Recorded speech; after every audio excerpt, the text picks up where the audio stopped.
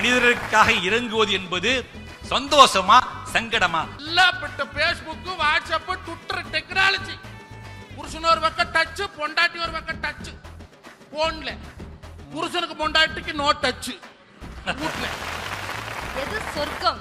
செத்தவங்களுக்கு செல வச்சு மாலை போடுறதை விட உங்களுக்கு பெத்தவங்களுக்கு இலை வச்சு சோறு போடுங்க. யானைக்கு ஒரு தேங்காய் முடியை கொடுத்துட்டு என் கருணையை பார்த்தீர்களா? அப்படின்னு சொல்றதுல இல்ல கருணை.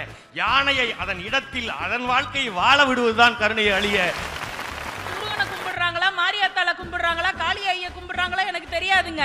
ஆனா அங்கே வாழக்கூடிய எல்லா மனிதர்களுக்கும் ஒரே இஷ்ட தெய்வமாக வாழ்ந்து கொண்டிருப்பவர் முல்லை பெரியாறு டேம் கட்டுவதற்கு தன்னுடைய அத்தனை சொத்துக்களையும் தந்த பென்னி குயிக் என்கின்ற வெள்ளைக்காரரை தானே தெய்வமா கொண்டாடுறாங்க தனக்கு ஒரு கைப்பிடி சோறு கிடைச்சா கூட தான் மட்டும் உண்ண நினைக்காம தன் இனத்தை சார்ந்திருக்கக்கூடிய அத்தனை காகத்தையும் அழைத்து உண்ணுதில்லையாங்க?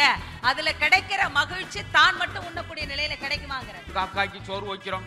சந்தோஷம் தான் இருக்கும்போது அவருக்கு கொஞ்சம் சோறு வச்சிருந்தா ஒரு பத்து வருஷம் பாஞ்சு வருஷம் எக்ஸ்ட்ரா இருந்திருப்பார். செத்த பின்னாடி சுடுகாட்டில் அதிரசமா வச்சு எங்க தாத்தா விரும்பி சாப்பிடுவார். எப்ப? அவர் என்ன வெளியே வந்தா சாப்பிட போறாரு? நடுவர் டாக்டர் ஜெய ராஜமூர்த்தி தலைமையில் குடியரசு தின சிறப்பு பட்டிமன்றம் நாளை காலை ஒன்பது முப்பது மணிக்கு நமது புது யுகத்தில்